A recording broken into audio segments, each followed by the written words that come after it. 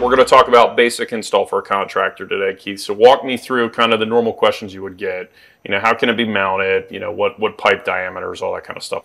Yeah, so the initial thing that a contractor is going to want to do, and it's going to relate to the price of the product, is what size pipe are you dealing with? Sure, sure. So there are a lot of manufacturers out there that only have a three quarter or only have a three quarter and a one. What what's our range that leak? So we've got about eight sizes, eight basic sizes. So three quarter all the way up to three inches in the basic system.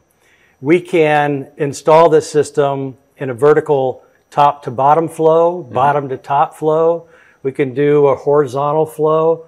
And then we can rotate this actuator and this ball valve in any, any direction that you want to. So if you're running out of space here and you needed to tuck it 90 degrees that way, you could do that as well. Absolutely. Okay. You cut the cut the pipe wherever you want to do the installation. We got a nice uh, installation showing right here. Mm-hmm.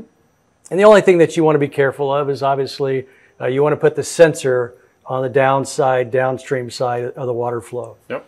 Here's you got a spring check here, right? Yeah, the spring check actually performs a good function in that due to the sensitivity of this sensor that we have here, we can monitor water going forwards or backwards. Okay. So that's why we want to put a spring check in there is to only monitor forward flow. Okay. Yeah, so the whole system is really designed to make it simple for the contractor. Uh, they don't have to specify a temperature or pressure, high pressure, high temperature. Our basic system does that. Okay. So they can apply it both to a hot water system and a cold water system.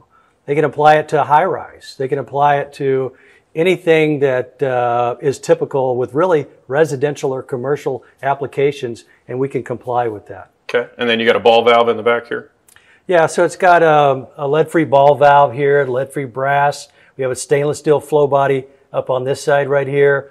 And the internals of this are going to last really designed for 20 years or longer. Okay. Once you cut the pipe and install this, then you have your electronics to deal with. Now the issue is uh, you tell us what length of wire you need mm-hmm. and what the closest receptacle is, and you'll uh, power it from that device. What we do ask you is that it's a non-GFI and a non-switched electrical panel, so you don't accidentally cut the power off or connect it to a myriad of other things that could be tripping a GFI, for instance. Gotcha. So you can tell us how long you want the power cord. So if the mechanical room's way down in a basement somewhere tucked away and you've only got limited access to a plug, you're good to go there. Yeah. Uh, also an outside installation.